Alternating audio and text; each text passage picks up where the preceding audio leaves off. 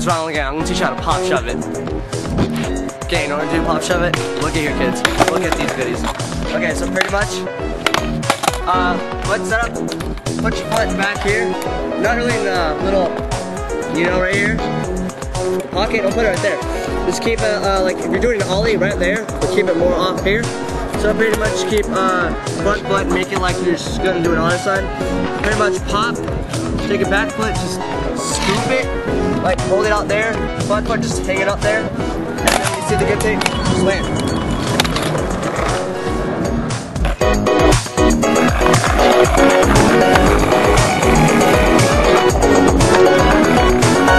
When doing a pop shove it, you can do other tricks too.